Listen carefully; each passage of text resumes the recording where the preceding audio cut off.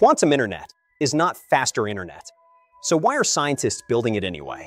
Because the goal isn't speed. It's a new kind of connection, a network designed to share quantum states between distant nodes, basically distributing entanglement across a network. And quick myth bust. Entanglement doesn't let you send messages faster than light. You still need a normal, classical signal to actually communicate. The first real impact? Ultra-secure key sharing. So if someone tries to spy on the key exchange, you can detect it. But here's the brutal problem, distance. Photons get lost. So to scale beyond short links, you need quantum repeaters, devices that extend entanglement using techniques like entanglement swapping.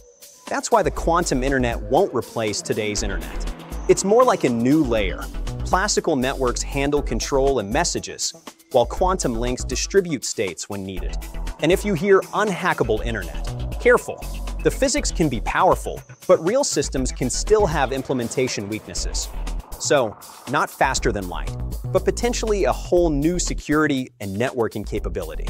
If you love mind-bending science, subscribe to SciByte Insights.